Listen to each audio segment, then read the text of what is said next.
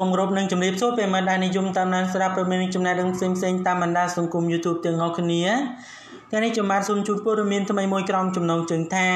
មិត្តដាច់ថែបជួយទៀតហើយក្រសួងការពារជាតិចិន បញ្ជូនសម្ភារៈពេទ្យទប់ស្កាត់ជំងឺ Covid មកដល់កម្ពុជាស្អែកនេះហើយបាទប្រិយមិត្តរបស់យើងជាទីគោរពរាប់អាន បាទនៅពេលថ្មីថ្មីនេះចិនបានជួយកម្ពុជាជាបន្តបន្ទាប់ជាពិសេសបាទវ៉ាក់សាំងបាទក៏ជួយជាបន្តបន្ទាប់នឹងសម្ភារៈបរិក្ខារពេទ្យបាទពាក់ព័ន្ធជាមួយនឹងការទប់ស្កាត់នឹងបាទដកកុំឲ្យមានការរីករាលដាលនៃជំងឺ Covid នេះ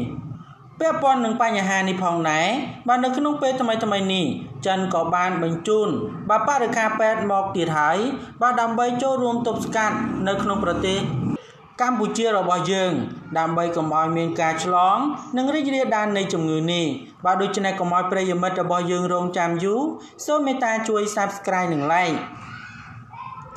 នាថ្ងៃស្អែកក្រសួង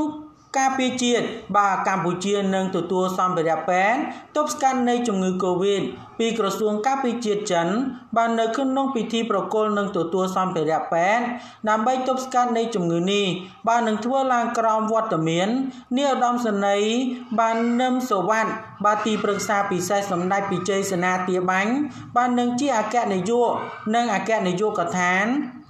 នៅ បាននយោបាយនិងកិច្ចការបរទេសចំណែកឯភាគីចិនតំណាងដោយបាអានុបាអានុពន្ធយោធាប្រចាំកម្ពុជា នៅទីលានយន្តហោះអន្តរជាតិបា VIP សូមជម្រាបជូនផងដែរថានេះជាលើកទី2ហើយដែលក្រសួងការពារជាតិបាទរបស់ប្រទេសចិន បានប្រគល់សម្ភារៈបាទសម្រាប់ទប់ស្កាត់នៃជំងឺ Covid មកដល់ក្រសួងការពារជាតិកម្ពុជា ការប្រគល់លើកទី1បាទសម្ភារៈសម្រាប់ការពារបាទនឹងទប់ស្កាត់នៃជំងឺនេះមានទម្ងន់ប្រមាណជាជាង2តោនបាទកាលពីថ្ងៃទី23បាទខែមីនាឆ្នាំ2020រដ្ឋាភិបាលចិន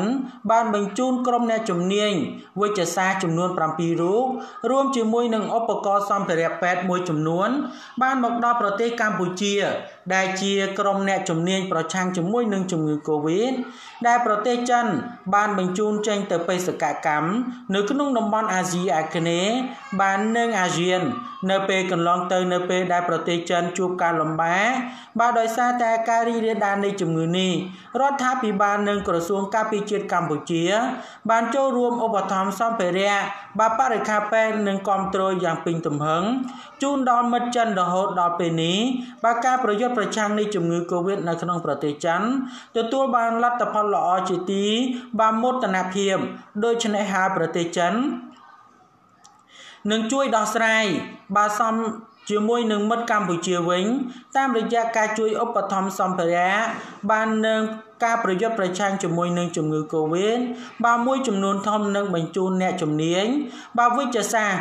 ស៊ីវិលបាននឹងកងទ័ពជួយកម្ពុជាផងដែរ បាទដូច្នេះព័ត៌មាននេះមានប៉ុណ្ណឹងដើម្បីទទួលបាននូវព័ត៌មានថ្មីៗបន្ថែមទៀតសូម Subscribe និង Like ចំណែកខ្ញុំបាទសូមអរគុណនិងសូមគោរពលា